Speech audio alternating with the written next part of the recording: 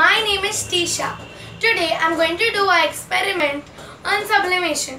For this experiment you need some ammonium chloride, a test tube holder, a test tube with some ammo a test tube and a cotton plug.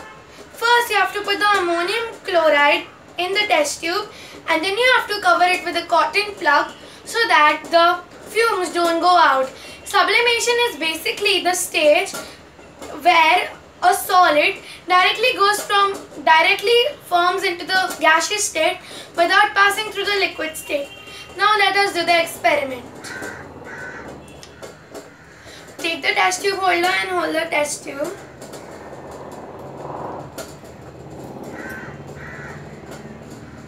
And now I'm going to heat it on a on the on the gas flame.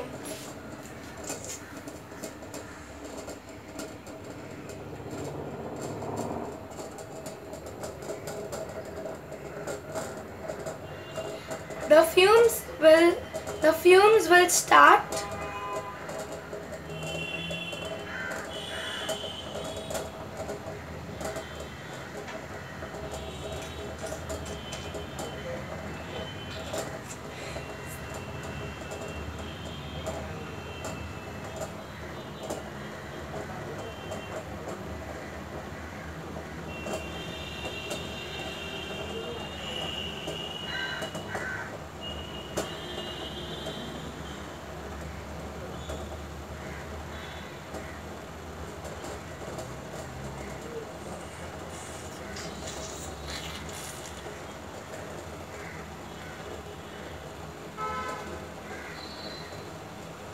It will take some time, so you have to be patient.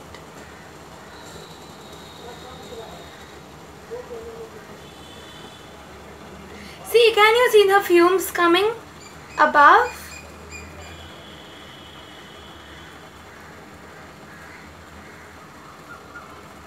Eventually, all the ammonium chloride will heat up. As we haven't let the fumes to escape, they are trapped here and you can see that the cotton is is burning